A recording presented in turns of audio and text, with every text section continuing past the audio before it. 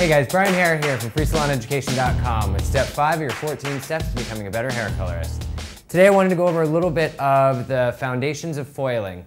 Not going to get into any crazy placements or anything like that because I trust all of you to take the knowledge that you have and create that yourself. I just wanted to go over a little bit of the understanding of why and when we bring foiling into our, our uh, toolbox of hair coloring techniques. First off, I think you need to understand that the point of foiling is to segregate and or incubate any hair that you want to color or lighten. It keeps it away from the other hair and it will help if you're using lightener just to give it that little bit of warmth and that incubation that you're gonna need to really amp it up and get that nice bright tone. Uh, there are two ways to go about placing a foil into the head. There is the slicing technique, and then there's the weave. Took me a second. That's a, it's the visual that helps. The weave technique and the slice technique. The slice is gonna come out more like a sheet of blonde, and the weave is obviously gonna be a nice woven more of a, a sporadic banded effect through the head. Uh, I wanted to show you guys just a couple of the ways that I like to make sure that my foils are in there nice and secure because I do a lot of coloring in between my foils so I've found that this method of placing the foil in the hair is going to lock it into place really well so that you can move that foil back and forth without worrying about it sliding.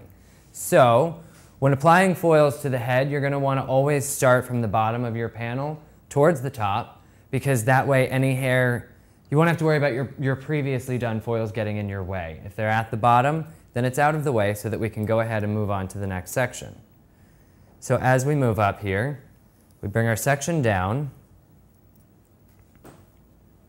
keeping in mind that however much hair you put into the foil obviously is how much lighter that hair is going to be if you're using lightener.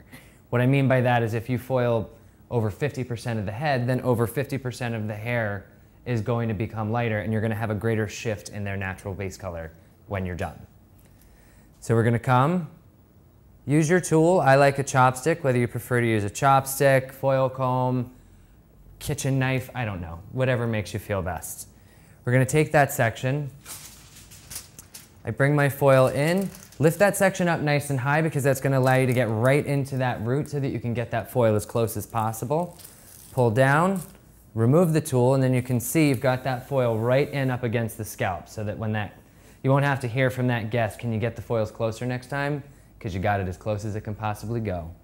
Take your lightener. As you're pulling the hair down taut to hold it up against that foil, I'm gonna start around the, the upper part of the mid shaft and then slowly work my way towards that root, making sure not to go overboard or too close to prevent any bleed marks.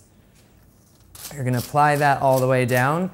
If this is the second time that you're, or the, uh, if this is not the first time that you're highlighting that hair, there's a chance that you're not going to need to highlight those ends or want to.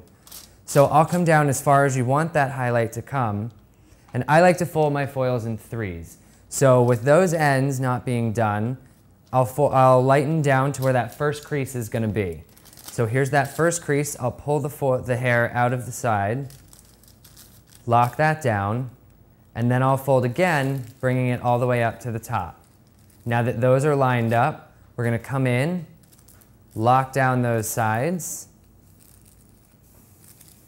and now we're not compromising the integrity of the ends, but now that foil is locked in there nice and tight so it can be moved back and forth should you need to move it for coloring in between or just moving it out of your way, whatever you need to do. So I hope that helps. Keep in mind, you've got a nice round shape, so I want to see some really cool techniques that you guys come up with about applying your foils to the head. So be sure to subscribe to us on YouTube, check us out on Facebook. That's where I hope to see your pictures. Instagram, everything on social media. Just find us and show us what you guys got. Thank you very much and stay tuned for step six in the 14 steps to becoming a better hair colorist.